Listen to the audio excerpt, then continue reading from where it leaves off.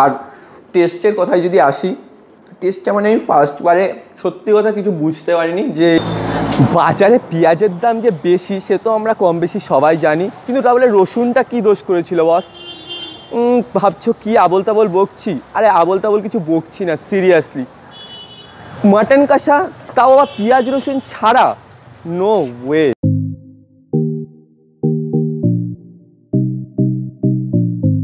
Mutton কষা খাব, তাও আবার পেঁয়াজ রসুন ছাড়া উইদাউট অনিয়ন গার্লিক জানি না কেমন হবে। তো সেটাই ট্রাই করতে চলে এসেছি আজকে। আর ট্রাই করতে কোথায় এসছি?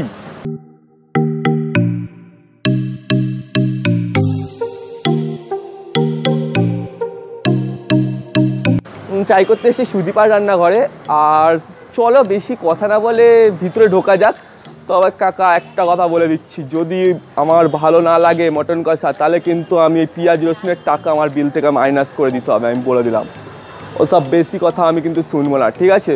ওই পেঁয়াজ, রসুন ছাড়া মাংস খাওয়াবে এত টাকা যা নিচ্ছ, ঠিক আছে, আমি মেনে নিচ্ছি। কিন্তু যদি ভালো না লাগে আমার পেঁয়াজ, রসুনের টাকা কিন্তু বিল থেকে মাইনাস করে দিতে হবে বলে দিচ্ছি। চলো, ঝামেলা আজকে একটা চরম বাধা বাঁধবে, ভিতরে গিয়ে ভিতরে গিয়ে তোমাদের সাথে তো কথা হচ্ছেই। চলো, বেশি ন্যাকড়া না পেছিয়ে ভিডিওটা স্টার্ট করা যাক। অ্যান্ড বাই আমি কুশল, তোমরা দেখছ আদর এবং তো চলো, ভিডিওটা স্টার্ট করা যাক।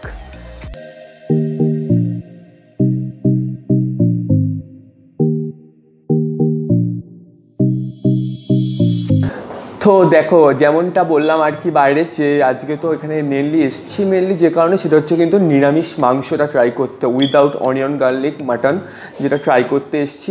আর তোমরা তো জানোই সব, বললাম পুরোটা।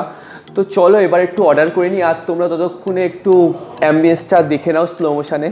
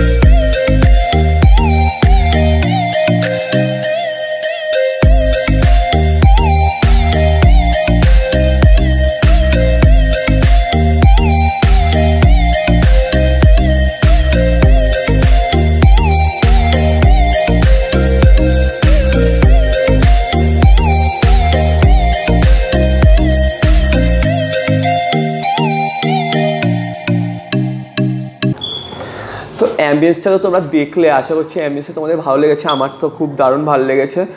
আর চলো অ্যাম্বিয়েন্সটা তো অবশ্যই বড় কথা, তার সাথে কেমন রেসিপিটা কেমন টেস্ট তো সেটাও ইম্পর্টেন্ট তো চলো, এবার ওটা আসা পর্যন্ত তোমরা একটুখানি মেনুটা দেখে নাও স্লো মোশনের মেনুটা দেখে নাও। আর চলো, শুরু।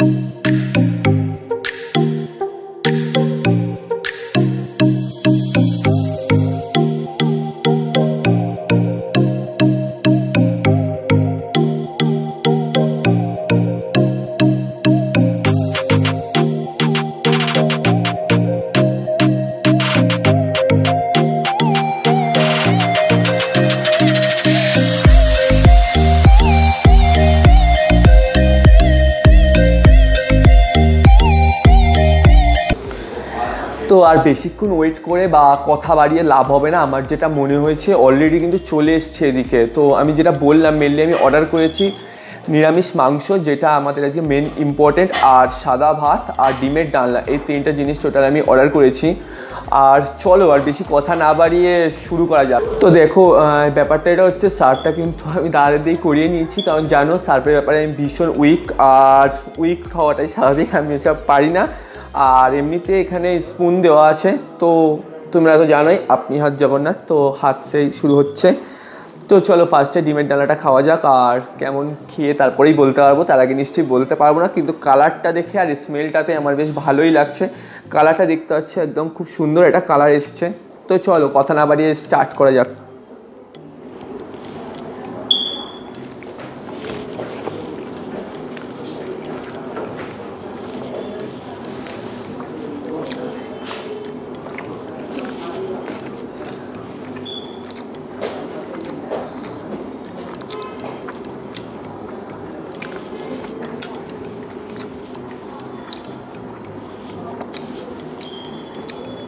দেখো, ডিমের ডালনাটা যে খুব আলাদা রকম কিছু লাগছে, তেমন নয়। নর্মালি যেমন ডিমের ডালনা হয় আর কি। কিন্তু আমি একটা জিনিস ফিল করতে পারছি কি আমাদের যেমন বাটা মশলার যে রান্নাটা হয়, তেমন টাইপের লাগছে। মানে ওই গুঁড়ো মশলা দেওয়ার রান্নাটার মতো স্বাদটা নয়। স্বাদটা একটু বাটা মশলার মতন। তবে ভালো খেতে মানে আলাদা করে বিশাল কিছু না, বা ওরকম মানে ওরকম লেভেলে কিছু আমার লাগেনি। নর্মালি মোটামুটি ভালো খেতে। আর রাইসটা দিয়ে, ডিমের ডালনাটা দিয়ে ভালোই লাগছে খেতে।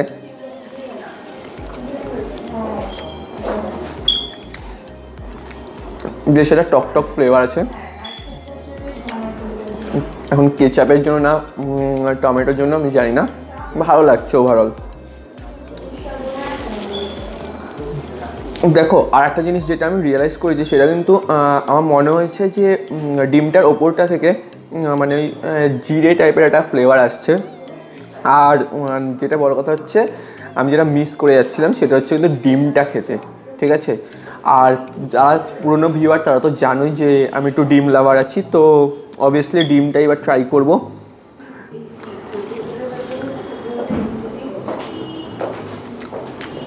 ডিমটা আলাদা করে কিছু বলার নেই। মুরগিরই ডিম, সব মুরগি সেমই ডিম দেয়, আলাদা করে কিছু দেয় না। জানি আমি বোকা, ডিমটা খেয়ে দেখালাম, কিন্তু সেটা কথা না। দিয়েছে, তার মানে সব কিছু দেখাতে লাগবে।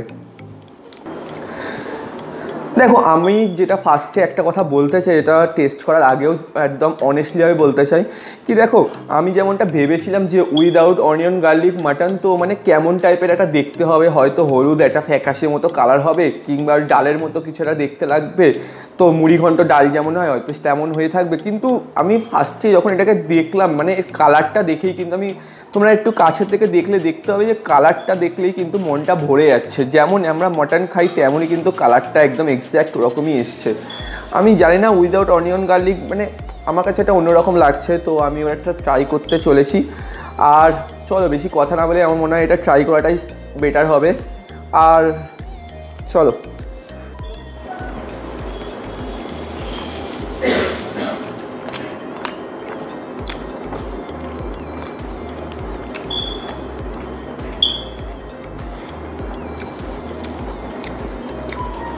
একটা কথা হচ্ছে গাইজ মাটনটা ভালোভাবে, খুব ভালোভাবে বয়েল হয়েছে, খুব ভালোভাবেই সিদ্ধ হয়েছে।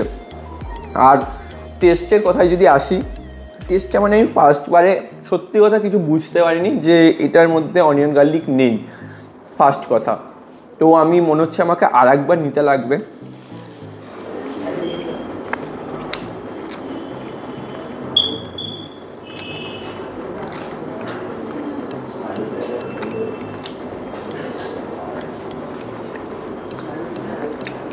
দেখো টেস্টটা যদি বলি টেস্টের কথা, একটু মিষ্টি মিষ্টি টাইপের হ্যাঁ জানি আমার জন্য বেটার কিন্তু একটু মিষ্টি মিষ্টি টাইপের আর ঘিয়ের একটা স্মেল আছে।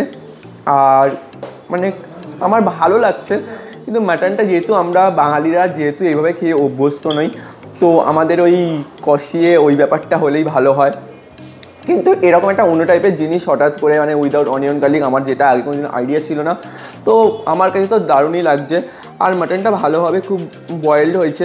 কিন্তু কি হয় মানে আমি বাকি মাটনের কথা বলছি, যে ভিতরটা যেমন একদম মশলাটা ঢুকে যায়, এক্ষেত্রে কিন্তু সেরকম নয়। মশলাটা কিন্তু একদম গামাখা গামাখা টাইপের হয়েছে। আর মানে ভিতরে যে তোমরা দেখলে বুঝতে পারবে, ভিতরে যে মাটনের পুরো ঝোলটা যে ঢুকে গেছে বা এরকম টাইপের তেমন কিছু নয়।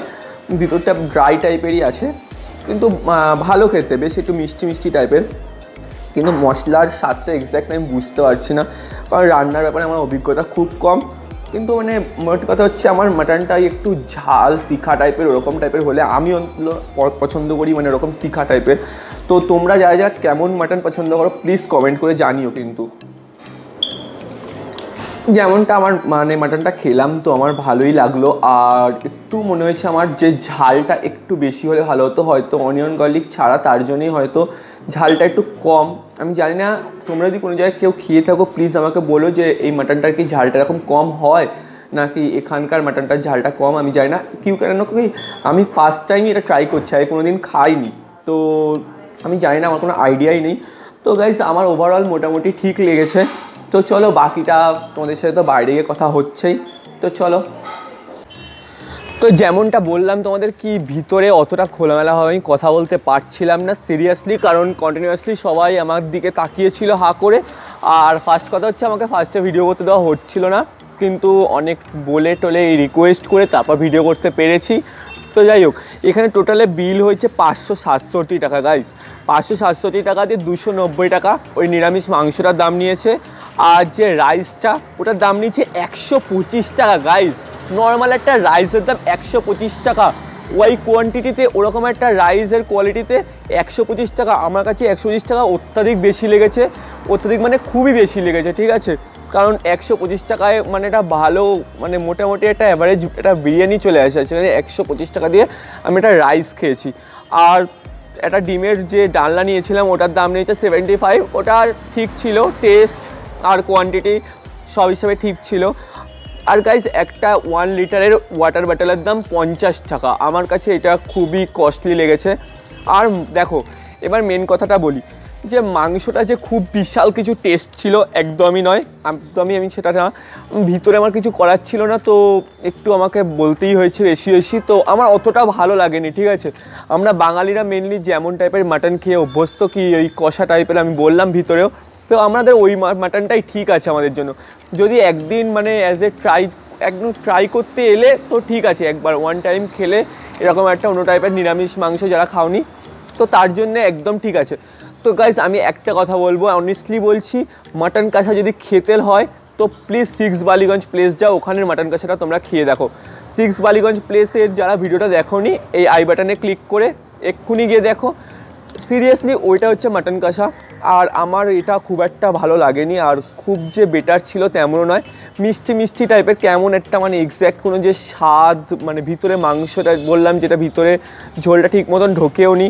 তো বয়েলড হয়েছিল, কিন্তু অতটা আমার কাছে টেস্ট লাগেনি। আর ফাইভ সিক্স সেভেন যে আমার বিলটা হয়েছে, এখানে আমার ডিম ডিমের যে ডালনাটা ছিল, ওটাই আমার বেস্ট লেগেছে। ওটা ঠিকঠাক ছিল। আদারওয়াইজ রাইসের দামটা তো খুবই বেশি, একশো পঁচিশ টাকা দিয়ে রাইস গাইজ আমার বাঙালির ছেলে, চাল কিনে খাই, আমরা জানি, ঠিক আছে রাইসের কেমন দাম হয়। তা বলে একটা বোল রাইসের দাম একশো পঁচিশ টাকা, এটা আমার কাছে ভীষণ বেশি লেগেছে, আর ভীষণ হাই প্রাইস লেগেছে। তো চলো, আজকের মতো এইটুখানি ছিল, আর চলো, যাওয়া যাক। আর হ্যাঁ যারা যারা এখনও চ্যানেলটাকে সাবস্ক্রাইব করনি প্লিজ সাবস্ক্রাইব করে দিও, আর লাইক কমেন্ট শেয়ার করতে কিন্তু ভুলো না। কদিন তোমরা অনেকটা সাপোর্ট করেছ, তো তার জন্যে আজকে একটা এত সুন্দর ভিডিও আসলো। তো তোমরা সাপোর্ট করলে আগে আরও ভালো ভালো ভিডিও আসবে। তো চলো, আজকের মতো এটুকুই ছিল। চলো, টাটা।